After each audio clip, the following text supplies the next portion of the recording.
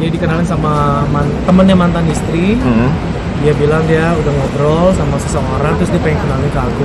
Ya udah akhirnya hari ini kita kenalan tapi nggak langsung deket karena jam-jam fitnessnya beda. Saya udah selesai dia baru masuk.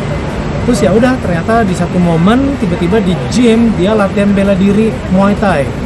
Kan gue kan hmm. bela diri ya. Hmm. nah di situ baru ada effort untuk berani ngomong sama dia kamu harus benerin tendangannya begini pukulannya begini harus pakai bahu gitu. kayak gitu-gitu. Nah justru dari situlah baru mulai kita eh, ya penjajakan tukar sosmed.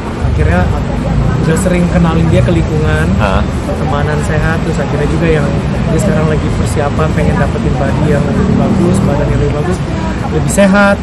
Aku suggest dia latihan sama sahabat saya juga. Jadi pokoknya kita sama-sama mau bertumbuh dengan baik dan sehat